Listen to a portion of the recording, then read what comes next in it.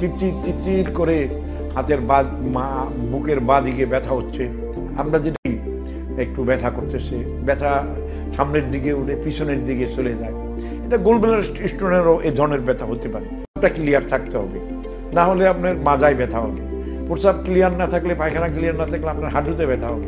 প্রস্রাব, পায়খানা ক্লিয়ার না না থাকলে আপনার পায়ের তালুতে ব্যথা হবে। খাবারটা দেখতে মানব দেহের বিভিন্ন অঙ্গের মতো, সেটা মানব দেহের ওই অঙ্গের ওষুধ। তাই আমাদের হার্টের মতো।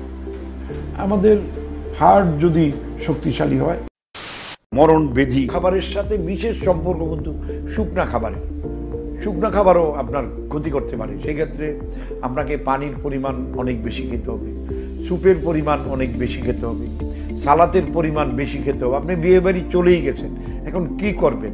সেখানে আপনাকে একটু বুরহানি বেশি খেতে হবে। সেইখানে আপনাকে একটু সালাদ বেশি বেশি করে খেয়ে নিতে হবে। আপনাকে লেবু তিন চারটা মিলিয়ে লেবুর একটু শরবত করে খেয়ে নিতে হবে। আর লেবুর চোকলাটা, একটা চোকলা আটটা অ্যান্টাসিডের কাজ করে। আপনি এক এক টুকরা, দুই টুকরা লেবু চোকলা সহ চিবিয়ে খেয়ে নেন। আপনি পুদিনা পাতা, থানকুনি পাতা অনেকে ফেলে দেয়। সালাতের সাথে বিভিন্ন স্যালারি পাতা যেগুলো দিয়ে সেগুলো অনেকে ফেলে দেয়। অনেকে বাঁধাকপি, ফুলকপিটা ফেলে দিয়ে সালাদ খায়। আপনি সেটা ওখানে বেশি খান। আপনি রসুনটা একটু বেশি খান। আপনি পেঁয়াজটা ওখানে একটু বেশি খান। আপনি খাদ্যাভ্যাসকে কিছুটা হলেও পরিবর্তন আনেন। আপনি পোড়া ভাজি খাবারের চেয়ে ঝোল খাবারটা বেশি খেতে থাকেন। কারণ আপনার প্রেশার কমাতে হবে। আপনার শরীরের ভিতরে যে চর্বি জমছে, চর্বিটা কমাতে হবে আপনাকে। আপনার ওবেসিটি এসে গেছে, ওজন বেড়ে যাচ্ছে। আপনাকে এখানে ওজন অবশ্যই কমাতে হবে। আপনার পায়খানা ক্লিয়ার হতে হবে প্রতিদিন দুই থেকে তিনবার। যে কোনো বয়সের নর্মাল বলছি, গড় বলছি, বাচ্চাদের জন্য পাঁচবার হইলেও কোনো ক্ষতি নেই। আপনার প্রস্রাবটা ক্লিয়ার থাকতে হবে। না হলে আপনার মাজায় ব্যথা হবে। প্রস্রাব ক্লিয়ার না থাকলে, পায়খানা ক্লিয়ার না থাকলে আপনার হাঁটুতে ব্যথা হবে। প্রস্রাব পায়খানা ক্লিয়ার না না থাকলে আপনার পায়ের তালুতে ব্যথা হবে।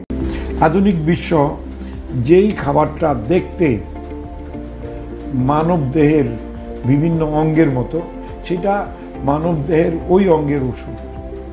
যদি আখরোট আমি ধরি, আখরোটটা দেখতে অনেকটা মানুষের ব্রেনের মতো।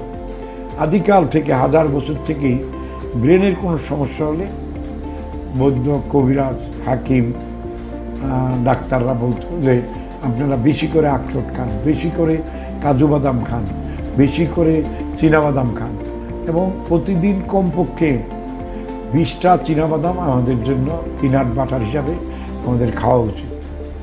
এই ধরনের জিনিসগুলো আমাদের ব্রেনের মহা ঔষধ যেরকম ধরুন রসুনটা অনেকটাই আমাদের হার্টের মতো। আমাদের হার্ট যদি শক্তিশালী হয়, তাহলে আমাদের শরীরের শক্তি বৃদ্ধি পাবে। হার্ট যদি শক্তিশালী হয়, তাহলে রক্তের সঞ্চলন প্রক্রিয়াটা খুব ভালো থাকবে। হার্ট একটা পাম্প, একটা বাড়িতে পাম্প করে পানি নিচতলার থেকে বিশতলায় উঠায়। ওরকম আমাদের এই হার্টটা পাম্প করে রক্তকে ব্রেনে নিয়ে যাচ্ছে। ব্রেন থেকে সারা শরীরে রক্তের সার্কুলেশন হচ্ছে। সেই ক্ষেত্রে হার্টের ভূমিকাটা অনেক বেশি।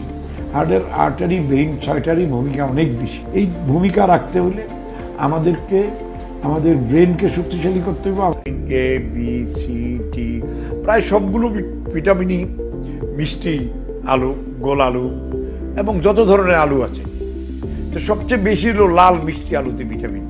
এবং সব ধরনের মিনারেল ওটার ভিতরে আছে। সব ধরনের খাদ্য প্রাণী ওটার মধ্যে আছে।